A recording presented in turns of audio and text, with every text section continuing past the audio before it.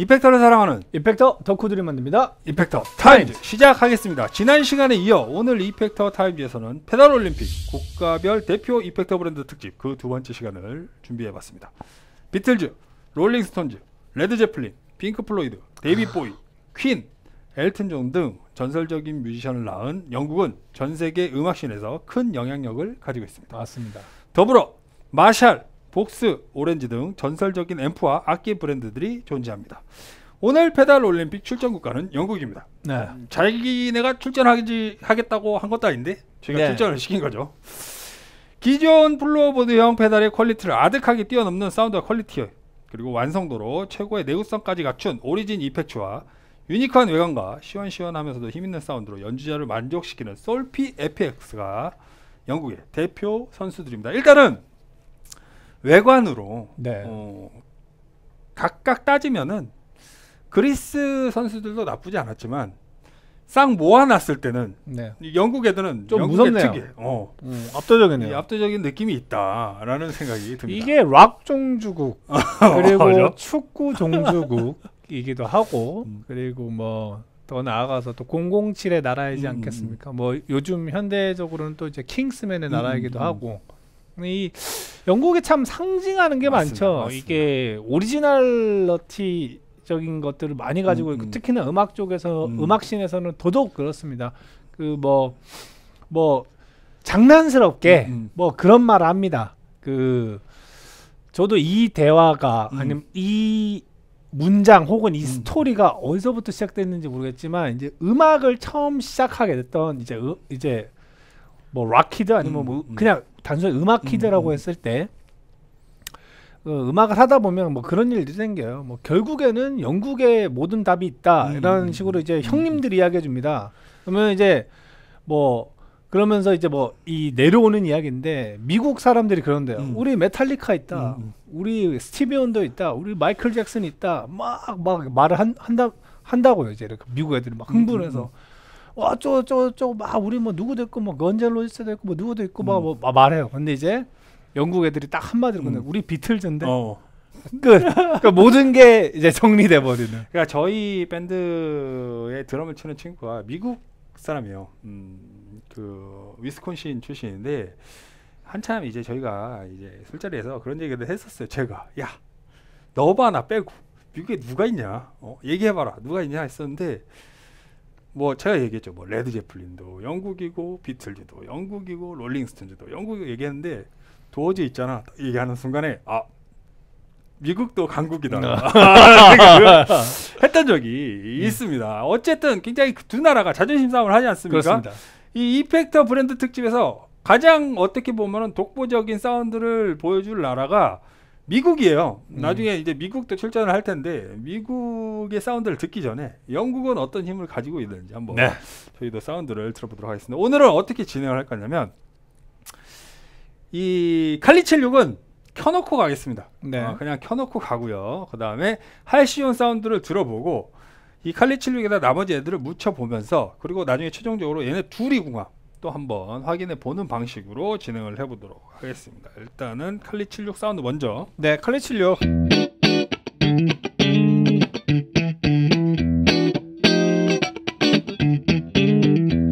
여기에서 칼리칠육으로 클린톤까지 한번 들어볼게요.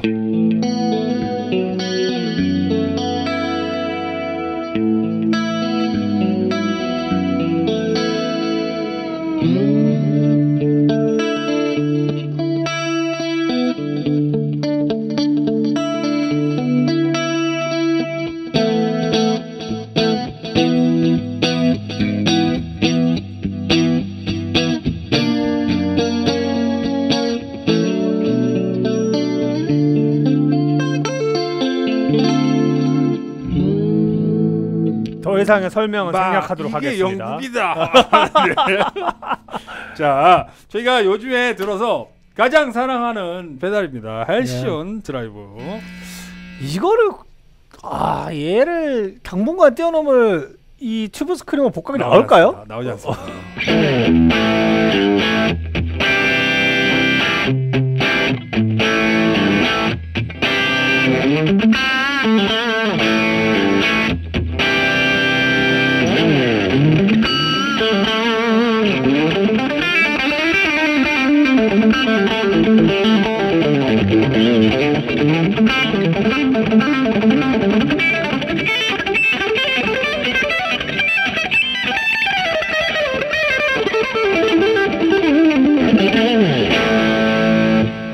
이게 칼리 76이랑 만나면서 음. 뭔가 이런 거 있잖아요. 저희가 뭐 물론 이렇게 극단적으로 쓰진 않지만 드라이브 사운드로만 녹음을 했는데 이제 스튜디오에서 굉장히 좋은 comp를 걸어서 음. 되게 엣지 있는 맞아요. 사운드를 만든 듯한 느낌이 음. 나는 거죠.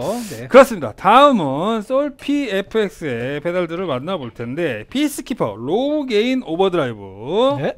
약간 얘를 어떻게 잡았냐면 crunch에 좀 못 미치는 네. 부스터 느낌으로 한번 잡아봤어요. 뭐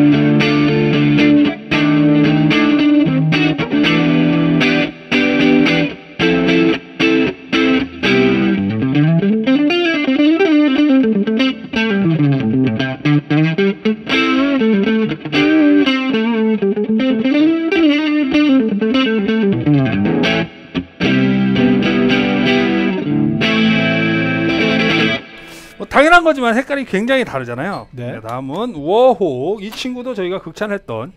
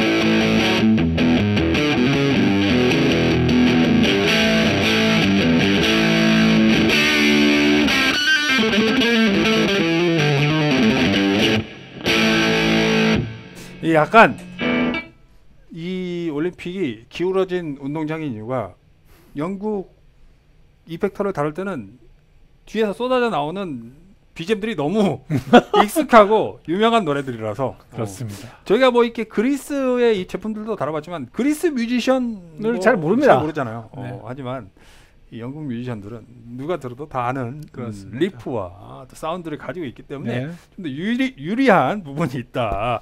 다음은 어떻게 들어볼 거냐면 피스키퍼랑 할숏 같이 좋습니다.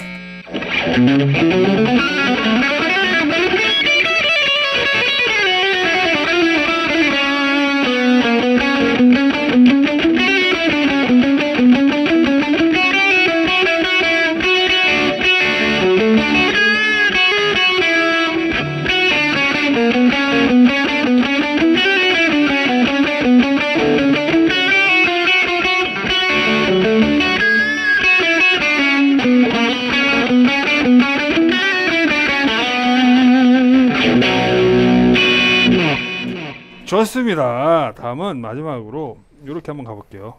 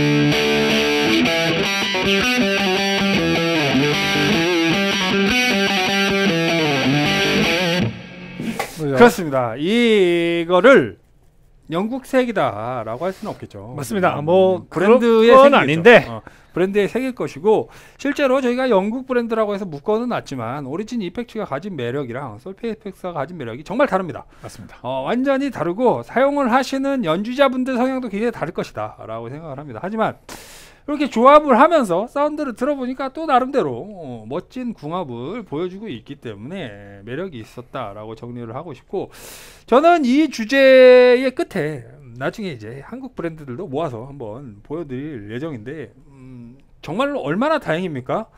정말로 이제 난다긴다 하는 이펙터들이 굉장히 많이 있지만 한국에서도 절대 지지 않는 멋진 사운드를 가진 이펙터들이 여러 대가 있기 때문에 음, 저는 뭐 이제는 어. 한국 브랜드가 출전한다는 거에 있어서 음. 걱정은 없어요. 맞습니다. 오히려 이런 생각을 합니다. 타국 이제 브랜드들을 음. 바르면 발랐지 음. 한국이 이제 뒤처지지 않는다. 음. 예전에는 그런 느낌 많았어요. 어, 어.